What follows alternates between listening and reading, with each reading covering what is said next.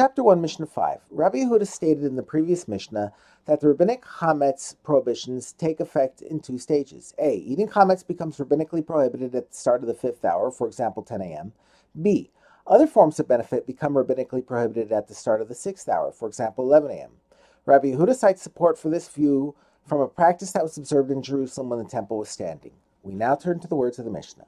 Rabbi Yehuda said further, two disqualified chametz loaves of a todah offering were taken the morning before Pesach and placed on the roof over the row of benches on the Temple Mount as a sign for people to see.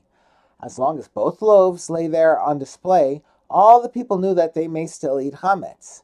When one loaf was removed at the beginning of the fifth hour, for example 10 a.m., they knew that they must suspend their chametz, which means they may not eat it, but they are not required to burn it.